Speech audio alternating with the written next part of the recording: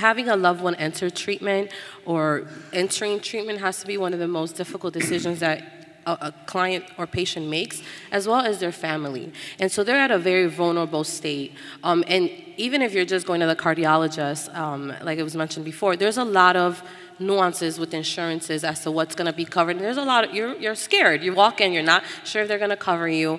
Um, and so just imagine that multiplied when you're going into a residential setting, your family's upset at you, and there's this big financial burden. And so I think that ensuring that there's a solid uh, uh, admissions process um, that determines is, is this client clinically appropriate? Can we help this client?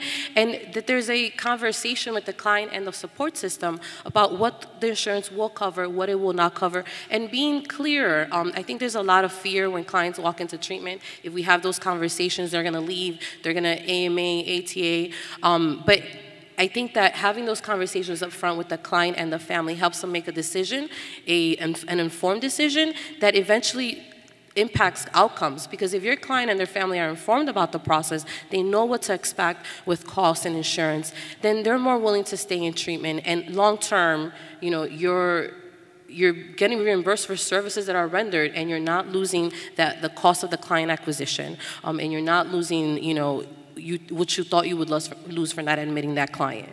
Um, so in the long term, outcomes are better and, and clients remain in treatment and make progress when they're informed and we're transparent about the business transaction that goes along with entering treatment.